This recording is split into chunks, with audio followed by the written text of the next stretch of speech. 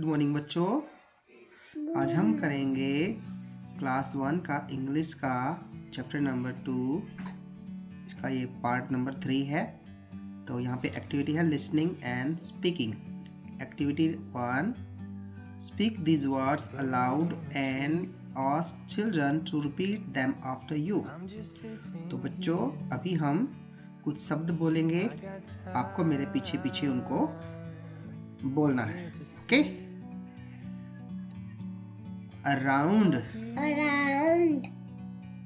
touch touch polish polish ground ground एक बार और around around touch touch polish polish ground ground activity number two ask children to tell what the child is doing in each picture. अब आपको बताना है इस picture में बच्चा क्या कर रहा है? Brush यस इस पिक्चर में बच्चा जो अपने टीथ को ब्रश कर रहा है ओके okay? और इस पिक्चर में लड़की क्या कर रही है? अपना फेस वॉश कर रही है। क्या कर रही है? Face wash कर रही है।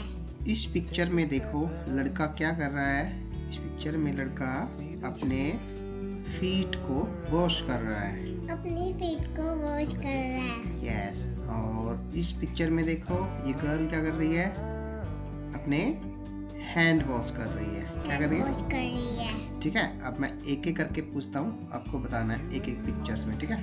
इस पिक्चर में बताओ लड़का क्या कर रहा है? लड़का ब्रश कर रहा है। इस पिक्चर में लड़की क्या कर रही है? लड़की अपना फेस वॉश कर रही है। और इस पिक्चर में लड़का क्या कर रहा है? लड़का अपने पैर वॉश कर रहा है। ओके और इस पिक्चर में लड़की क्या वॉश कर रही है? Hands क्या वॉश कर रही है लड़की? Hands hands very good next activity है राइटिंग की। तो आप सभी बच्चों को अपनी बुक के अंदर ये जो डॉटेड लाइन दी गई है आपने इनको फिल करना है पेंसिल के साथ। तो सबसे पहला जो लेटर है वो है आई तो सभी बच्चे आपके लिए एक्टिविटी है ये। डॉटेड लेटर्स को आपने पेंसिल के साथ कंप्लीट करना है। This one is I I ऐसे बनाना है आपको। ऐसे और ऐसे। ऐसे ऐसे ऐसे। तो आप सभी ने इन लेटर्स को कंप्लीट करना है। तो आप सभी को इस प्रकार पहले आई लेटर की जो टू लाइंस है वो कंप्लीट करनी है। उसके बाद आपको एल लेटर की दोनों लाइन कंप्लीट करनी है।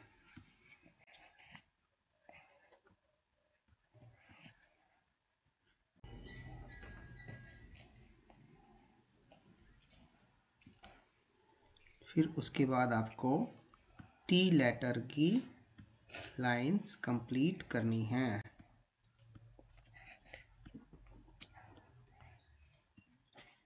तो एक एक करके दो लाइन आई की, दो लाइन एल की और दो लाइन टी लेटर की आपको कंप्लीट करनी है।